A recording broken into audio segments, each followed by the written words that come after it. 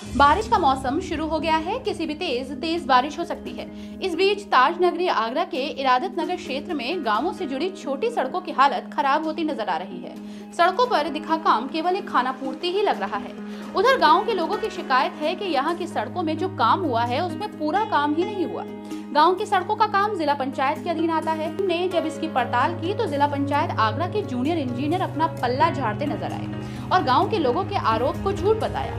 वहीं reality check करने जब टीम मौके पर पहुँची तो वहाँ पर ग्रामीणों ने सड़क को अपने हाथों से उखेड़ कर दिखाया और सड़कों पर माल का पूरा न लगने का आरोप अधिकारियों पर भी लगाया। लोगों का आरोप है कि गाँव से जुड़ी सड़क को बने हुए चार से पाँच दिन हुए हैं और अब देखने में लगता है कि ये सड़क कितनी खराब हो चुकी है। अब देखने वाली बात यह होगी कि क्या सड़कों के काम में इसी तरीके से पलीता लगाया जाएगा या फिर उच्च अधिकारी इस पर कोई ठोस कार्रवाई करेंगे। इसकी शिकायत ये साहब, ये सड़क की घटिया सामग्री का प्रयोग हुआ इसमें। हमने शिकायत की अधिकारियों से, जब अधिकारी इसको देखने के लिए हमने, उन्होंने कहा कि अभी तुम्हारे पास हम भेज अधिकारी। जब अधिकारी आए तो हमने अधिकारियों से कहा, अधिकारी सब लोग मिले हुए थे।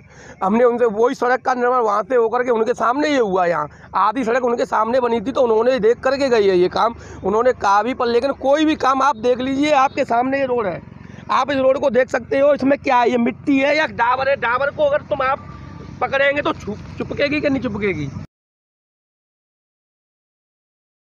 चाहे कहीं भी रहें, अपने शहर से जुड़े रहें और अपने शहर की हर खबर के लिए डाउनलोड करें local live app Google Play पर उपलब्ध।